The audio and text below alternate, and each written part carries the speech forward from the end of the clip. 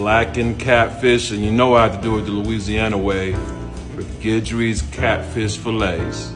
To blacken these catfish, we're gonna start off adding some melted butter to the tops of the catfish. Once it's all buttered up, put your favorite seasoning on top. Then get a cast iron skillet nice and hot and put them seasoned side down. While the bottom is cooking, add some more butter and seasoning to the top. Now listen, I'm real picky when it comes to catfish, so I know you're gonna like this recipe.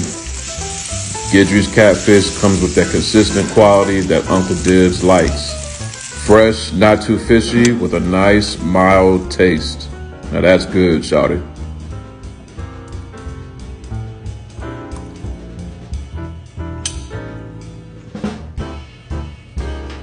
That's good, Shawty.